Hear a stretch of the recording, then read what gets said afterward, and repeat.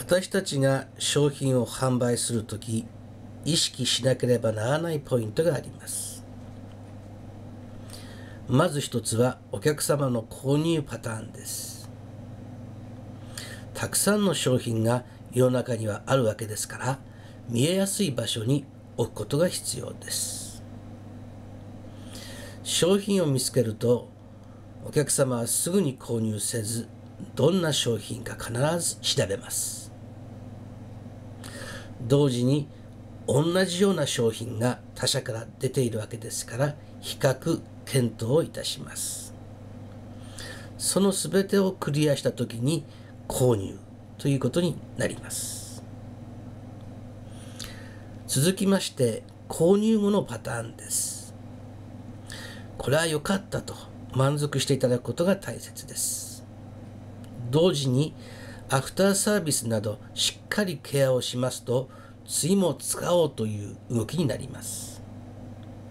最終的に家族やお友達にこれはいいと紹介する推薦するようになります。この一連の行動を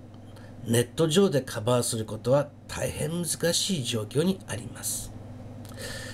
しかし最近ツイッターの登場でちょっと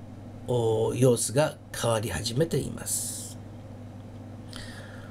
ホームページはたくさんの情報を整理し紹介する能力には絶大なパワーがありますしかしながら買い置きの本のようなもので思い出して持ってこないと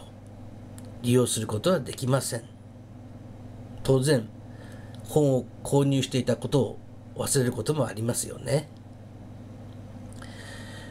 ツイッターはリアルタイムにお客様と交流する力を持っています。今必要なもの、今疑問に感じているものをその場で提供することができるわけです。もっともツイッターには膨大な情報をストックするスペースがないので、ホームページに導くことで提供することになります。このホームページ、ツイッターにはそれぞれ欠点があるわけですが、相互に利用することによって保管することができる状況にあるわけです。ぜひ新しい時代のネット活用に Twitter、ホームページを同時に利用することによってチャレンジしていただきたいと考えています。